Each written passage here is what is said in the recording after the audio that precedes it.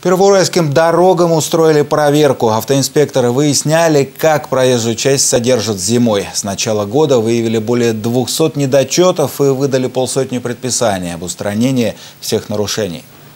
При проверке обращали внимание в первую очередь на то, как дороги чистят от снега. К примеру, замеряли толщину снежного покрова у автобусных остановок. Важна не только тщательность, но и оперативность уборки. Неблагоприятные погодные условия резко повышают риск ДТП. Из-за снега и наледи в Первоуральске с начала года произошло 4 аварии. За ненадлежащее содержание дорог предусмотрены штрафы на должностных лиц до 30 тысяч рублей, на юридических до 300 тысяч. Как сообщили в ГИБДД, проверки содержания дорог проводят не только зимой, а вообще круглый год в ежедневном режиме.